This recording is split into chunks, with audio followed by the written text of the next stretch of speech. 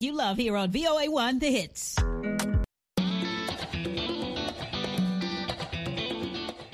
Welcome to Learning English, a daily 30 minute program from the Voice of America. I'm Ashley Thompson. And I'm Dan Novak. This program is designed for English learners, so we speak a little slower and we use words and phrases especially written for people learning English.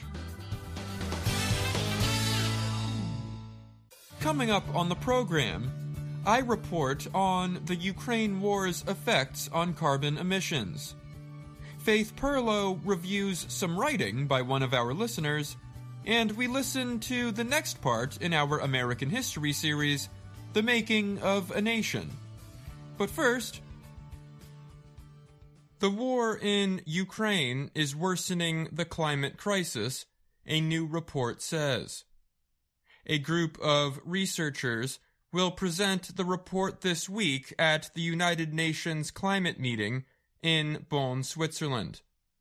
The scientists report that the first 12 months of the war will lead to increased production of waste gases that heat the planet. They expect the increase will amount to about 120 million metric tons of gas emissions, or release. That is equal to a year's worth of emissions by the country of Belgium. Dutch expert Lennard de Klerk is the lead writer of the report, Climate Damage Caused by Russia's War in Ukraine. He led a team of researchers investigating the creation of war linked emissions. The causes include fuel use for vehicles, forest fires, changes in energy use in Europe, and the future rebuilding of buildings and roads. We didn't expect the emissions of war would be so significant, said de Klerk by phone from his home in Hungary near the border with Ukraine. Carbon accounting will be an important subject of discussion at the COP28 climate meeting in Dubai this year countries will measure progress against climate goals agreed to in Paris in 2015. De Klerk said it was very important that military emissions were included.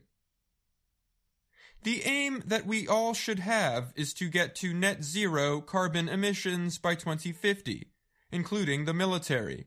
But if you don't know what the military emissions are, it's very difficult to start work on policies to reduce them, de Klerk said.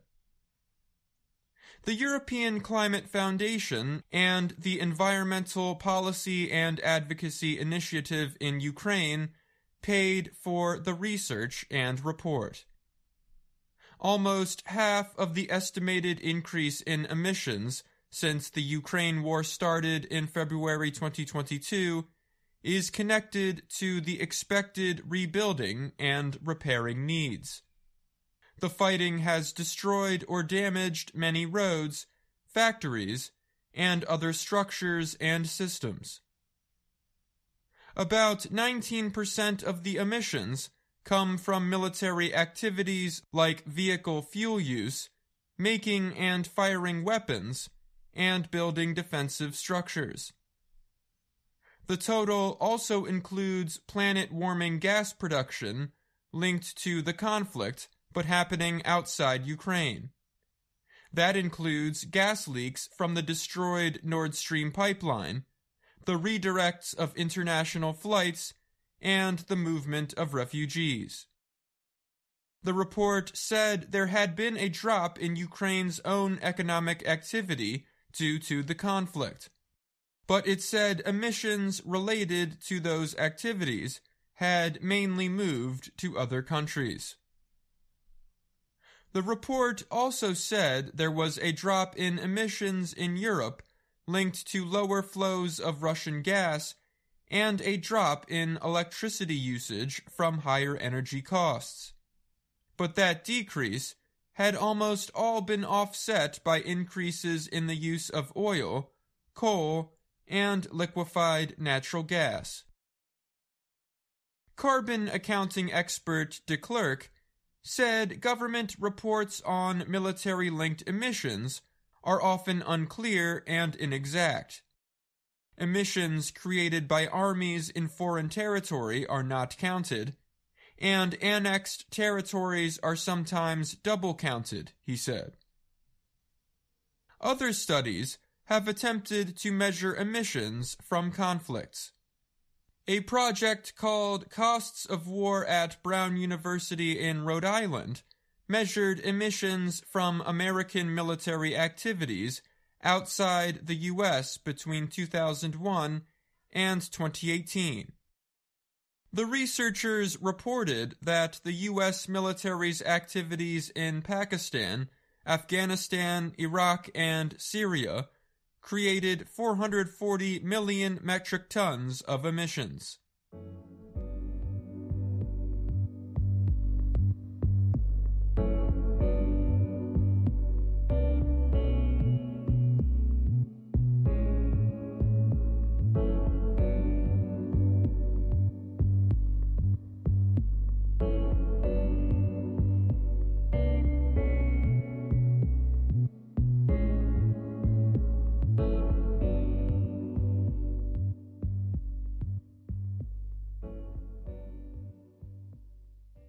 Few weeks ago, we asked our readers and listeners to write about having guests over.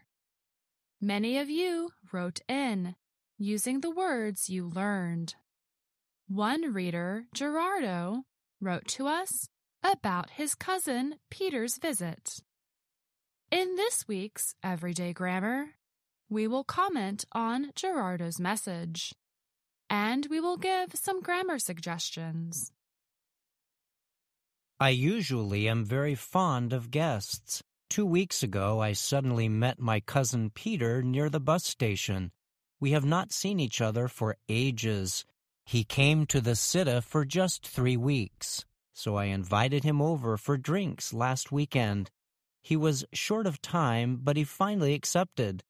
On Saturday, we spent time catching up, talking about those beautiful days we played games and eating in the countryside when we were very young. We had dinner together, and then he left. Let's start with the first two sentences. I usually am very fond of guests. Two weeks ago, I suddenly met my cousin Peter near the bus station. Gerardo uses the adverb usually, which means generally or under normal conditions. While this is a good adverb to use, we suggest placing the adverb after the auxiliary or helping verb be. I am usually very fond of guests. The adjective fond is a great descriptive word. It is stronger than like, but a little less strong than love. Lastly, in these two sentences, we have suddenly met. The adverb and verb combination are a good way to describe the chance meeting. In American English, we have a phrasal verb that is widely used in everyday speech for that chance meeting. Run into. Run into means to meet someone by chance or without planning. I am usually very fond of guests. Two weeks ago, I ran into my cousin Peter near the bus station. Let's move on to the next three sentences. We have not seen each other for ages. He came to the Sitta for just three weeks, so I invited him over for drinks last weekend. There are only a few small changes we need in these three sentences. Since Gerardo is writing in the past tense throughout the paragraph, we suggest keeping the past tense in the third sentence by using the past perfect. The past perfect is helping verb had plus the past participle of the verb. We had not seen each other for ages. In the fourth sentence, there is a small spelling error. We can change cita to city. He came to the city for just three weeks. In the fifth sentence, we will add a comma after the word so. So, in this case, is an introductory word or transition. We add a comma after introductory words of this kind to show that the main part of the sentence follows. And lastly, in that sentence, we can remove the hyphen between the words week and end and combine them as a one word compound noun. So I invited him over for drinks last weekend. Added comma. Let's look at the sixth sentence.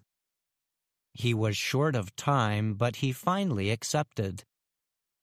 We suggest changing two things in this sentence. First, we suggest changing the preposition of to on.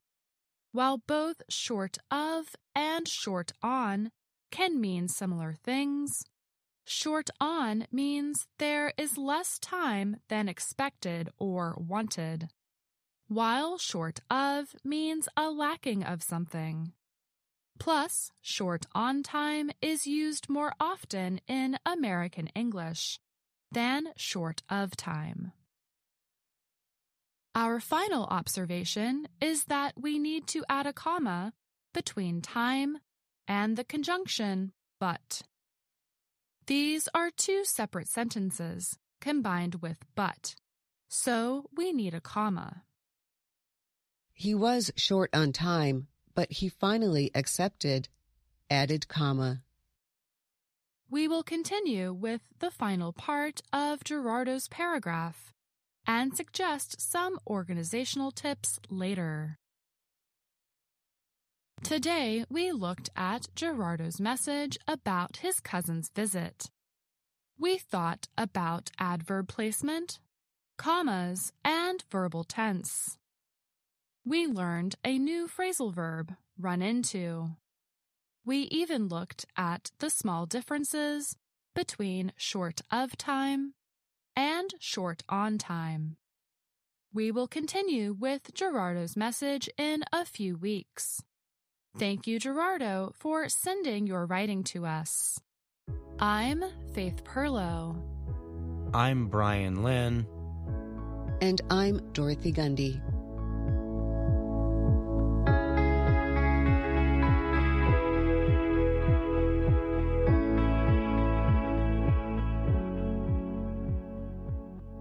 That was Faith Pirlo with this week's Everyday Grammar. Welcome back to the show, Faith. Thanks, Dan. This week you reviewed Gerardo's message about a visit from his cousin Peter. I reviewed some of the grammar throughout Gerardo's message. You mentioned the adjective fond, and you said that it is stronger than liking something, but a little less strong than loving something. So, what exactly does it mean? That's a great question. There are two uses of fond. Like in Gerardo's message, we can say that we are fond of something or fond of someone. That means that we like that thing or person very much. So that's why I said it is stronger than like, but a little less strong than love. For example, I love cats but I am fond of dogs.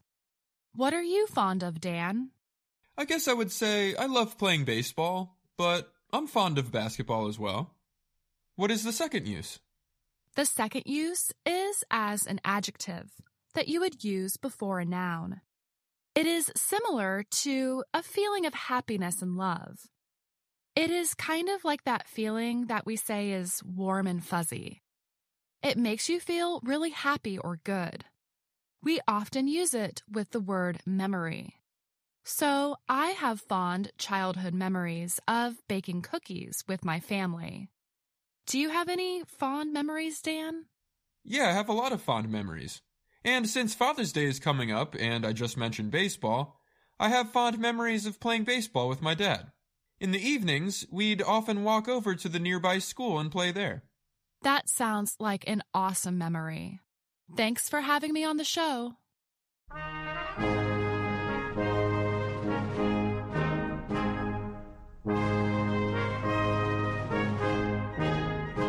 Welcome to the Making of a Nation American History in VOA Special English. I'm Steve Ember. We look back at the presidential election of 1976. When Vice President Gerald Ford became president in 1974, he took office during a crisis. For the first time in American history, a president, Richard Nixon, had resigned. Nixon resigned as a result of the case known as Watergate. It involved the cover up of illegal activities related to his re election campaign. Lies about Watergate only added to the mistrust of Americans angry at having been misled about the war in Vietnam. After Vietnam and Watergate, many people no longer believed their public officials. Voters rejected Gerald Ford, a Republican, in the presidential election of 1976. Instead, they chose Jimmy Carter, the candidate of the Democrats. Why? One reason was that Ford had pardoned Nixon. He declared a pardon for any crimes that Nixon might have committed. This made many people angry. Also, he refused requests for federal aid for New York and other cities. Voters may have felt that he was not concerned about the problems of poor people. Others believe that unemployment and inflation defeated Gerald Ford. He was not able to deal effectively with these problems during his short presidency. There was competition for the Republican Party nomination in 1976. Ford's chief opponent was Ronald Reagan, who had just served two terms as governor of California. Democrats thought that voter anger about Watergate would help their party win the White House. Eleven Democrats campaigned for the nomination. Two well known politicians did not campaign, but they said they would serve if no other candidate won the party's support. They were former Vice President Hubert Humphrey and Senator Ted Kennedy. One of the lesser known candidates was the former governor of Georgia, Jimmy Carter. My name is Jimmy Carter, and I'm running for president. Political experts gave him little chance of winning the nomination. Most Democrats did not even know who he was.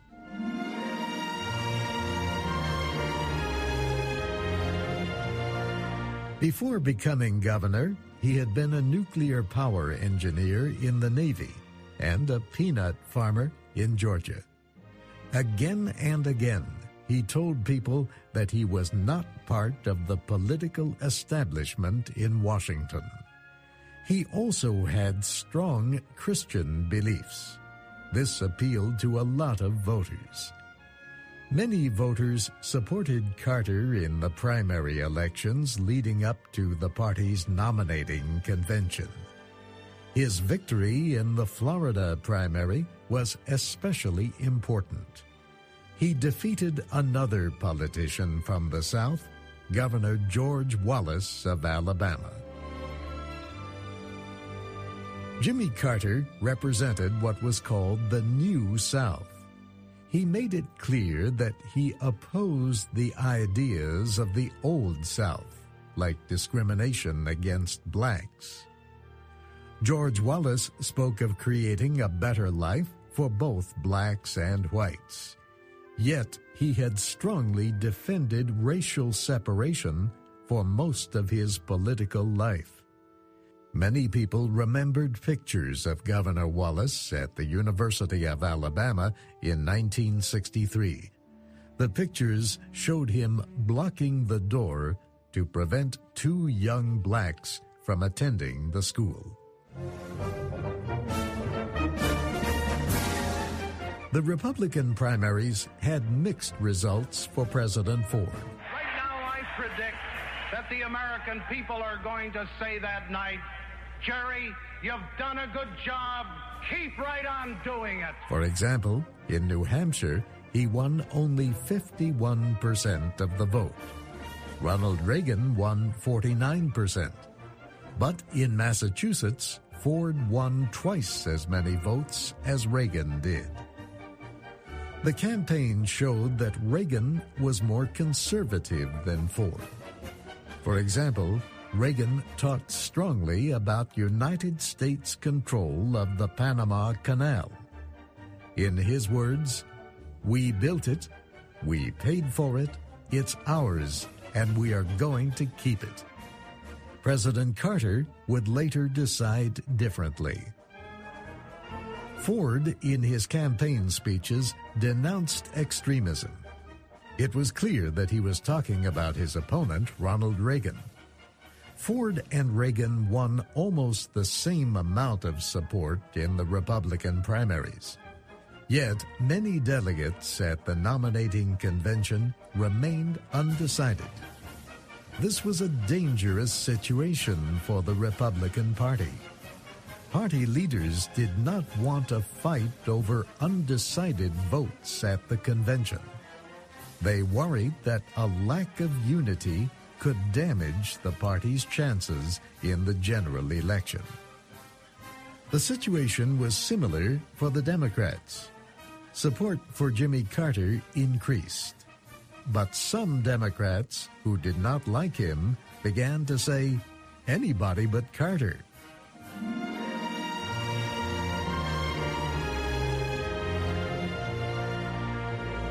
Carter's campaign message was that he did not have ties to special interest groups, that he would be different. I see an America that is turned away from scandals and corruption. I see an American president who governs with vigor and with vision and affirmative leadership. A president who is not isolated from our people, but a president who feels your pain and who shares your dreams. I see an America on the move again, united, its wounds healed, an America entering its third century with confidence and competence and compassion. An America that lives up to the majesty of its Constitution and the simple decency of its people. This is my vision of America. I hope you share it, and I hope you will help me fight for it. Many people liked what they heard. Carter won the Democratic primaries in Georgia, Alabama, and Indiana. The other candidates fell hopelessly behind. At the party convention, he was nominated on the first vote. In his acceptance speech, he repeated the line that he continually used with voters. My name is Jimmy Carter, and I'm running for president. Carter said there was a fear that America's best years were over. He said the nation's best was still to come. 1976 will not be a year of politics as usual. It can be a year of inspiration and hope. And it will be a year of concern, of quiet and sober reassessment of our nation's character and purpose. A year when voters have already confounded the experts. And I guarantee you that it will be the year when we give the government of this country back to the people of this country. Walter Mondale, a senator from Minnesota, became the party's vice presidential candidate.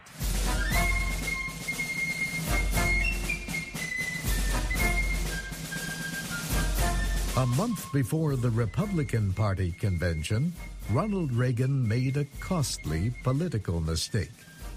He said that if he won the nomination, he would want Senator Richard Schweiker of Pennsylvania as his running mate. Conservatives got angry. Schweiker was a liberal Republican.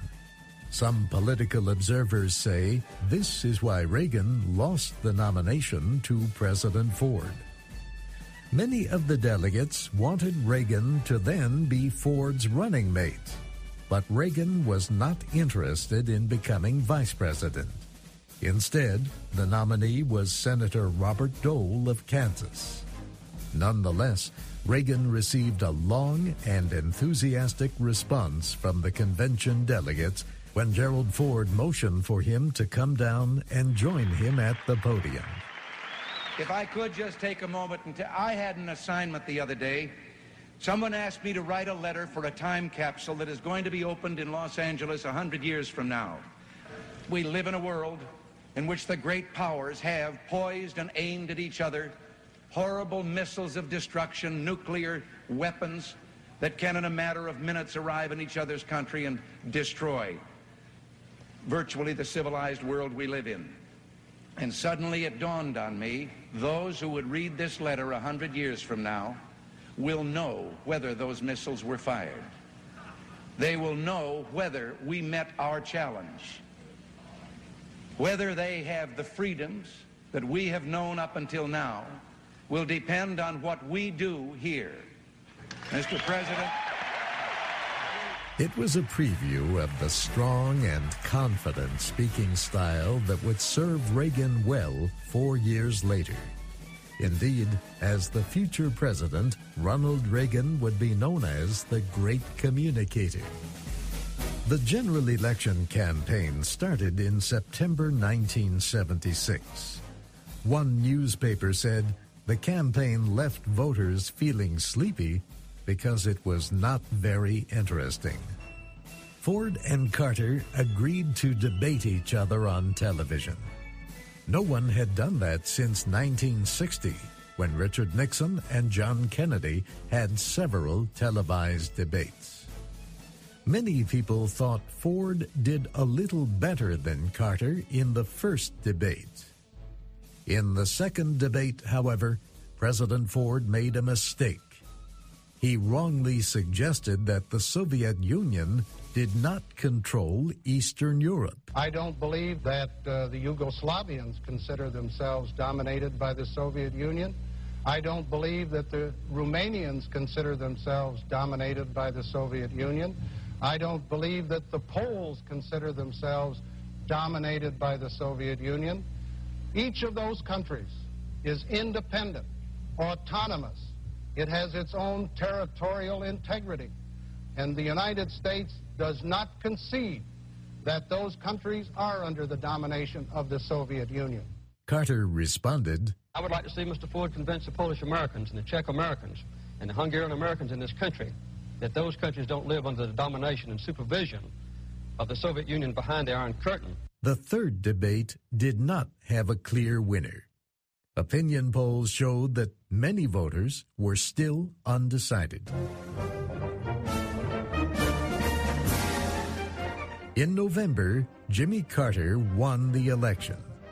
He received 51% of the popular vote. President Ford won 48%. A lot had changed in the two years since Jimmy Carter began to receive national attention. Most Americans had never heard of him before. Now, many of those same people had just elected him the 39th President of the United States. And that's our program for today. Join us again tomorrow to keep learning English through stories from around the world. I'm Ashley Thompson. And I'm Dan Novak.